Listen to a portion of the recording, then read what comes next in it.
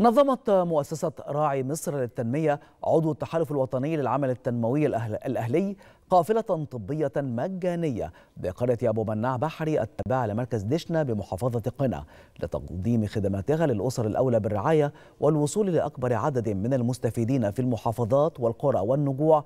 من خلال 21 عيادة متنقلة تجوب 16 محافظة وتحت إشراف نخبة من الأطباء والمتخصصين. وشملت القافلة تخصصات البطن والأنف والأذن والعيون والعظام وتم الكشف على عدد كبير من الحالات وصرف العلاج وإجراء التحاليل المعملية وعمل نظارات طبية لبعض الحالات المستحقة بالمجان. إحنا طبعا بيشرفنا وجودنا النهارده ضمن التحالف الوطني وتحت مظلة مظلة التحالف الوطني.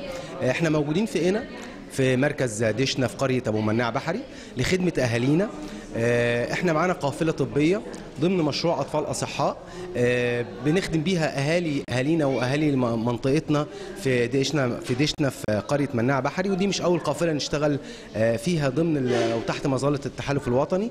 إحنا مستهدفين حوالي 2000 شخص نعالجهم النهارده في عدة تخصصات. معانا جلدية معانا تخصص أنف وأذن معانا تخصص عظام معانا تخصص عيون معانا معمل تحاليل للأطفال اللي بنستهدفهم اللي عندهم نقص سوء تغذيه و و و و و و وبنبدأ نعمل معاهم تدخلات على أساس إن إحنا نعمل لهم تحاليل قبلية وتحاليل بعدية. إحنا بنشكر التحالف الوطني وبنشكر جمعية راعي مصر لتنمية المشروعات.